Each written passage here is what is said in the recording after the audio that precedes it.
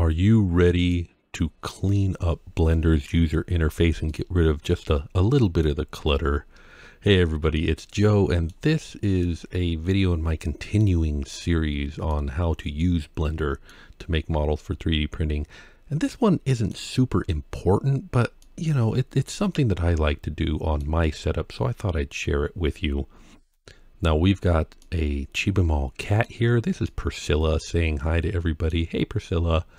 But this is not going to be the focus of today's video. Today we're talking about these tabs across the top. Have you have you noticed those? Have you wondered what they are? Well, good news is you can click them and they won't harm anything. So let's go ahead and do that. So we're currently on layout. If we click modeling, ooh, something's changed. I have to zoom out a little bit. Okay, let's go to sculpting. Ooh, something's changed again, but really not a whole lot. If I go back to modeling and sculpting, they seem pretty similar, though something a little has changed, admittedly. If we go back to layout, almost the same as well. Let's see, UV editing. Oh, now that's a big change. Something is definitely different here. Texture painting. Actually very similar to UV editing. Shading. Uh, well, shading's different for sure. Animation. Okay, kind of similar to shading. Rendering, very different. Compositing, geometry nodes, scripting. What are all of these tabs for?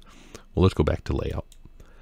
One thing that you, you might need to know about Blender is that it's super extendable. You can make it look and feel however you want. And here's the good news. You don't need the tabs to do it. I could take this tab right here, I could take this layout right here and make it look however I want. Now I'm not going to do it with this one. I like the layout the way that it is, but let's go over to the modeling tab. Notice that the modeling tab puts us in a, a different mode with the model and, and uh, it changes the view a little bit. We've lost our grid. That's actually because we've changed the scale and, and we would have to adjust the scale on this one just like we did before. But you know what? Here's the deal. If I want this to look exactly like the layout tab here, all I have to do is, well, first of all, I have to get out of edit mode. There's a super easy way to do that. Just hit tab on your keyboard and we're out of edit mode. And then go up to the, the view here and change it to, I don't know, random colors, just like we did before. Oh, look, the shadows and everything is off. Oh boy, you know what else? That we're missing a tab across the bottom. Go back to layout. See, tab across the bottom is missing, or not tab, a window. But if we go to the lower left-hand corner or lower right-hand corner of this tab and drag it up, we can create a new tab down here. In fact, in Blender, we can create new new windows anywhere we want and, and fill them with whatever information we want.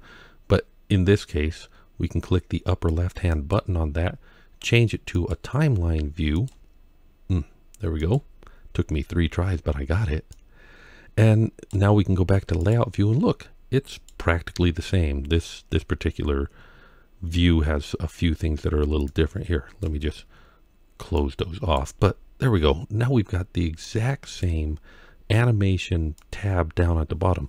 Now we don't actually use this animation tab very much for 3D printing, but I like having an extra window on the bottom. But if you don't, all you have to do, I'll go back to the modeling tab here, in the corner of the 3D or of the main window here, you can click and drag and just cover up that other tab. And we could do that in the layout tab if that's what you want. But my point is, these two tabs aren't actually all that different. And we can make the layout tab do exactly what we're doing in the modeling tab just by hitting the tab key. Or we can go up to the menu in the upper left hand view of the 3D view where it says edit mode and go to object mode and we can swap between them just like that. What I'm saying is this modeling tab, not really all that useful considering that we can get there with the press of a button on the layout tab. So right mouse click on the modeling tab and let's just delete it. Go ahead, delete it. Don't be afraid to do that. Now, if you're worried and you're like, wait, what if I want that later? Well, if you go to the right hand side of the tabs, you'll see there's a plus sign. You can click that, go to general, And there's our modeling tab again. We can click it and bring it back in. The only problem is now it's at the end and not at the beginning, but we could reorder that. So it's not gone forever. So just delete it. Get rid of it. Don't worry about it.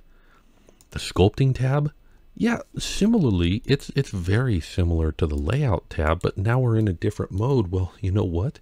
In layout, we can use that object mode menu and go to sculpt mode, or we can hit, let's go back to object mode, control tab, and now we get this cool little menu that pops up and we can go to sculpt mode just like that. So we've got the sculpt tab. Now, the sculpt tab does set up the view a little bit different. Okay, we've also got the tool over here. So boom. Oh, sculpt mode. Now we got the tool. And if you want your look to look like, I don't know, something else for sculpting, well, we can do that. That's a matte cap lighting. Matcap lighting, and we can choose our matcap lighting. I like the red one that just kind of looks like red clay, but you could choose whichever one you want. It doesn't matter. It's up to you, and I think the one that they've chosen is the first one here. Oh, our matcap wants to do that one in, in random colors there. Second one, or that one it doesn't matter. We have control over it. We can do that anytime that we want. I'm going to go back to studio lighting on this one because it's good. But again, my point is sculpting tab, not really that useful. Delete it. Now our layout tab is actually kind of pulling triple duty now as far as the tabs are concerned. So maybe layout isn't the right word for it. Maybe we should call it one window which isn't quite accurate. We've got the one window and then we've got the outliner and the properties, but that's, you know, it's one big window. And the reason why I'm calling it that, so all you have to do is just double click on the tab and you could rename it.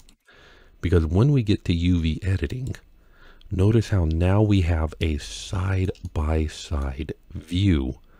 And if you go to texture paint, we've got another side by side view. Now, once again, we've changed modes. So if I go back to the layout tab hit Control Tab, we can go to Texture Paint mode, and actually, if we go to the UV editing, oh, there's Texture Paint mode.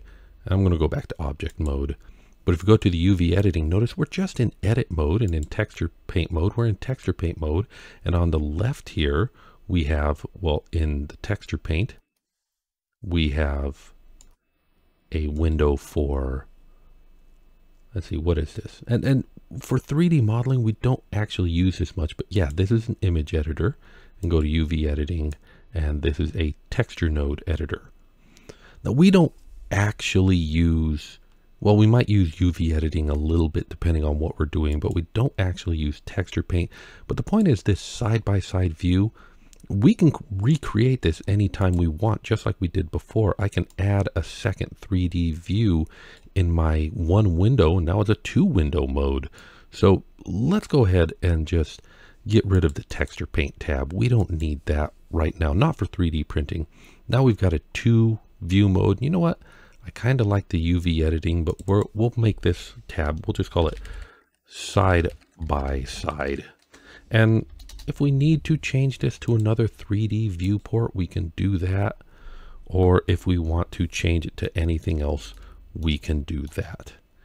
I believe it was a texture node editor before. Nope, it wasn't that. It was, what was it before?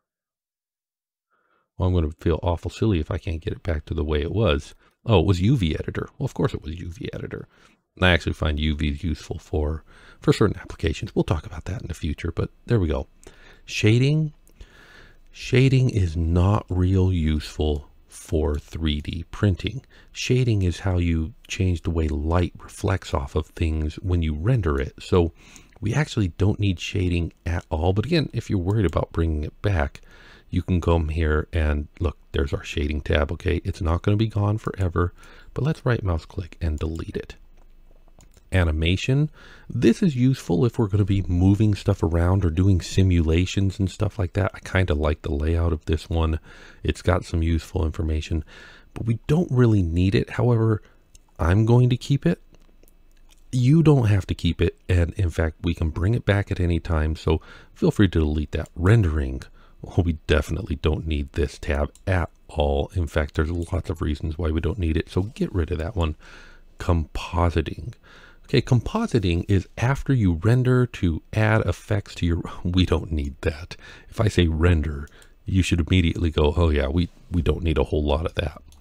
Geometry nodes. Okay, geometry nodes are, are a super powerful and useful way, and we are actually going to be doing some geometry nodes in this series, but um, are we going to be doing it in this you know menu in this window? I don't know. You know, I'm going to leave it for now, but um, you could just as easily get rid of it because oftentimes whenever I do geometry nodes, I use that animation tab in my one window view and I change this one to my geometry nodes editor and it's all good to go. But, so geometry nodes, I'm going to leave it here because I want to play with this one, but you don't have to. You can get rid of it. And scripting, all right, Blender allows you to write code in Blender to do amazing things. And if that excites you, if you think, oh my goodness, I can't wait to write code in Blender, then keep this tab. Otherwise, get rid of it. And now going back to our one window view, look at how much cleaner this is. You don't need all those tabs. In fact, really, you just need the one big window and maybe the side by side. However, here's the good news you can add a new tab anytime you want, set it up to be any one of these, and rearrange it to be anything that you want. So if you find that there's a workflow that works better for you, you can create a tab laser focused to doing that. In fact, we could take the one window tab, right mouse click on it, and duplicate it and now we have a new one window tab that we could start rearranging and doing whatever we want with and making it set up however we want. And we can, in fact, we can go the other direction. We can get rid of stuff and, and make it so that we don't have anything on here but the one big window that we want or whatever you want to do. There's, there's nothing stopping you from just taking over the world with this one big window. Here we go. There's a true one window view. so I hope that this has helped people and maybe helped you clean up and, and make Blender your own and make Blender useful for you. Now to make these changes permanent, all we have to do is, well, I gotta clear out Priscilla and file default save startup file. Now your startup file only has these basic tabs. Remember to click that twice. There we go. We've got our scene all set up and clean and ready to go so that we can make cool things in Blender. So let's go make something awesome. I want to thank everybody who supports me on Patreon. You are the wind beneath my wings and you make these videos possible. Thank you guys very much. And until I see you next time, remember, you are a child of God and you're special, so take care of yourself. And if you can, take care of somebody else too. Thank you very much for watching.